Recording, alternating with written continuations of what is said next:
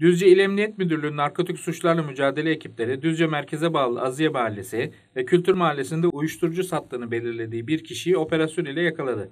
Şahsın üzerinde ikametinde ve aracında yapılan aramalarda 3 gram kokain maddesi, 7 gram metamfetamin maddesi, 3 gram sentetik karbonhidrat maddesi, 5 adet reçeteye tabi sentetik ecza, 1 adet cam pipo, 2 adet ruhsatsız tabanca ve 11 adet bu tabancalara ait mermi ele geçirildi. İl Emniyet Müdürlüğü'nde işlemleri tamamlanan şahıs, uyuşturucu madde ticareti yapmak suçundan sevk edildiği adli makamlarca tutuklanarak cezaevine teslim edildi.